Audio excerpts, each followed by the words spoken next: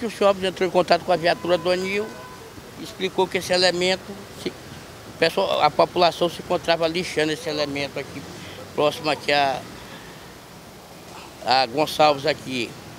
E nós chegamos lá no local, a vítima já tinha saído do local e já se encontrava só esse elemento já pego pelo, pela população.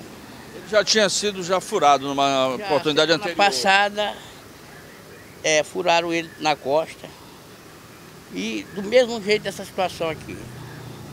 Não tem vítima. Não tem vítima. Toda vez é assim, não tem vítima, aí fica na rua de novo. Aí na volta mesma de novo. situação. Como não tem, como não tem vítima, né? Ele vai ser levado para o hospital, vai ser deixado lá e depois volta para a rua. O que aconteceu aí? Pai, tinha, tava eu e mais dois, os outros dois foi que roubaram a mulher lá. Eu tava apenas. Não roubou não? Eu tava apenas acompanhando eles. Mas O pessoal te agarrou.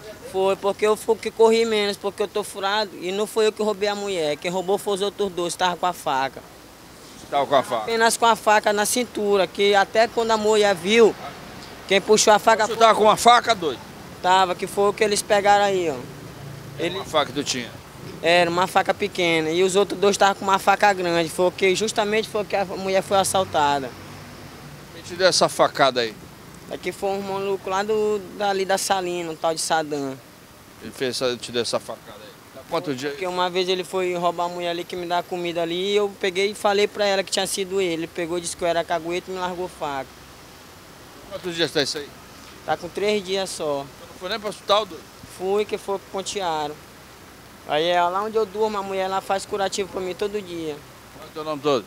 Carlos Ricardo Aguiar Freire. Carlos Ricardo Aguiar Freire. É, Chureco. isso.